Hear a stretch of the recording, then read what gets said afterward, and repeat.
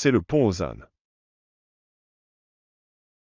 C'est le pont aux ânes est une expression qui signifie que quelque chose n'a pas de sens ou qu'il s'agit d'une situation absurde.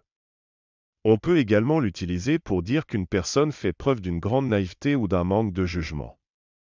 Par exemple, je lui ai expliqué les choses clairement, mais il n'a rien compris. C'est le pont aux ânes. Il a acheté une voiture avec toutes les options même s'il ne sait pas conduire. C'est le pont aux ânes. Elle pense qu'elle va devenir riche grâce à sa collection de coquillages. C'est le pont aux ânes.